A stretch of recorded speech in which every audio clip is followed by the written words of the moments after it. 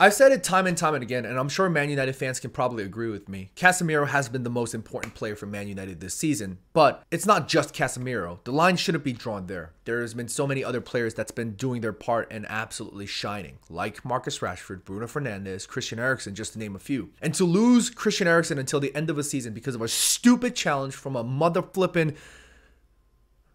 to lose Christian Eriksen sucks. But I'm very optimistic. I'm more scared now than ever, but I'm still very optimistic because I trust in Erik Ten Hag's abilities as a manager. He's shown us time and time again this season. It's, it's taken six months for him to convince us that he has what it takes. And I know Fred isn't going to live up to the to the expectations of Christian Eriksen, and I know signing Marcel Sabitzer isn't going to be that. But I still trust in Erik Ten Hag, and I think that I know Christian Eriksen is going to be a massive miss, but we'll still be able to keep that high level of output to a relative extent.